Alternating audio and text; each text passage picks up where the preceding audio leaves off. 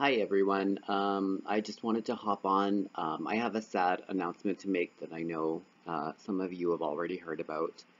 Um, but Dick Richards, the guy behind 5 9th Avenue Project, uh, passed away yesterday in hospice.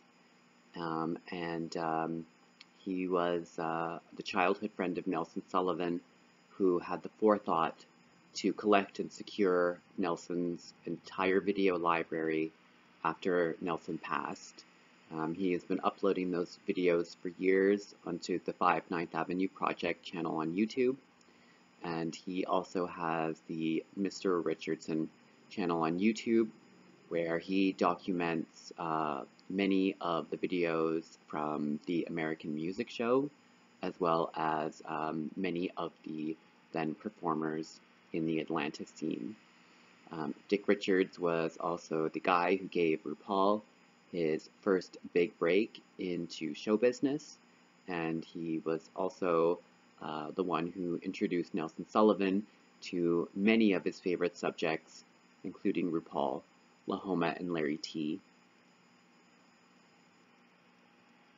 So this is just obviously a very sad day for uh, all of us here who are fans of Nelson Sullivan, fans of 5 9th Avenue Project, um, and I obviously offer my condolences to um, Dick's friends and family and uh, Robert as well.